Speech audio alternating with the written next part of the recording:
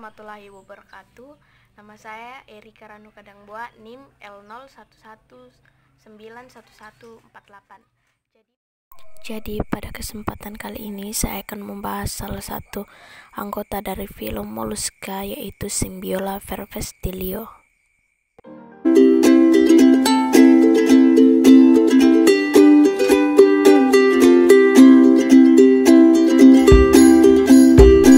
Vervestilio memiliki cangkang yang berwarna hijau dengan corak kecoklatan, memiliki permukaan cangkang bagian dorsal dan juga ventral yang halus dan mengkilat.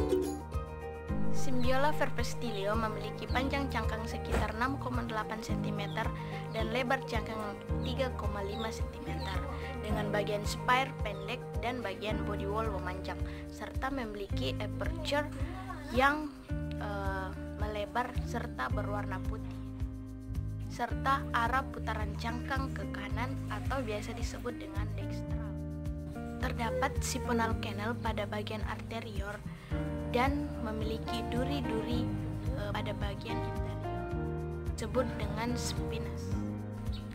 Gastropoda jenis ini memiliki cangkang yang berlipat-lipat yang disebut dengan columnar folds yang berjumlah empat buah yang tersusun secara miring pada bagian cangkang.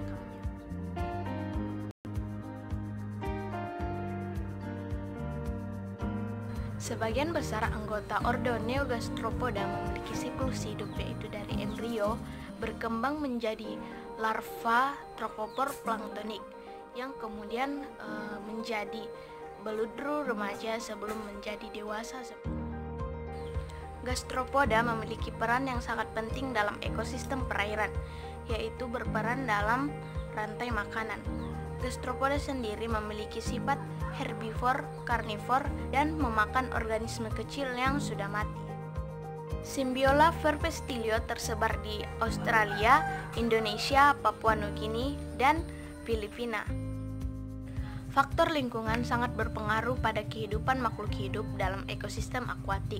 Symbiola verpestilio sendiri dapat hidup pada suhu perairan 27,6 derajat Celcius sampai dengan 29,3 derajat Celcius.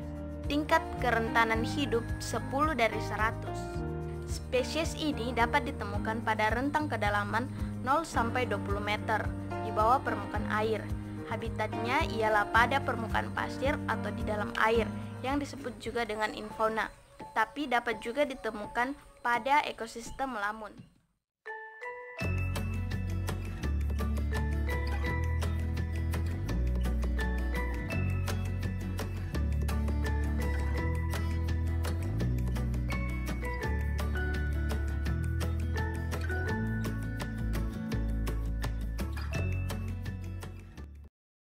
Demikianlah uh, video yang telah saya buat, kurang dan lebihnya mohon dimaafkan. Sekian dan terima kasih.